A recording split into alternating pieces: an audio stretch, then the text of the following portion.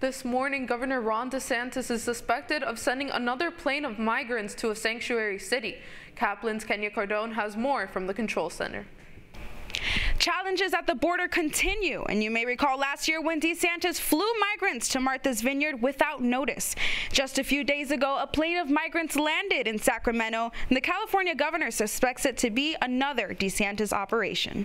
Nearly three dozen migrants have arrived in Sacramento since Friday. The first group arrived by private jet from Venezuela and Colombia, according to a nonprofit group.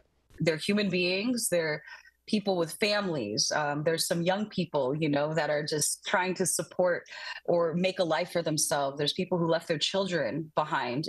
The second group carrying 20 migrants came Monday on this private plane from Texas, which California officials believe was sent by Florida Governor Ron DeSantis his willingness to treat human beings, people, as political pawns. It's wrong, and we are getting to the bottom of it. DeSantis, who recently announced he's running for president in 2024, says he's been cracking down on illegal immigration in his state. We have banned sanctuary cities.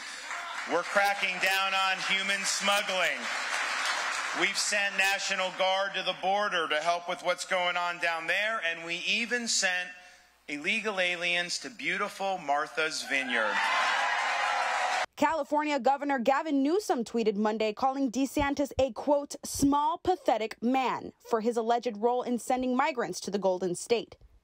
Meanwhile, local and state officials say they'll be providing assistance. The people who are scared, who are vulnerable, who are flown here, they will be well cared for. Newsom says the details about who paid to fly the migrants to California and if they were misled with false promises will be investigated. In the Control Center, I'm Kenya Cardone, Caplin News.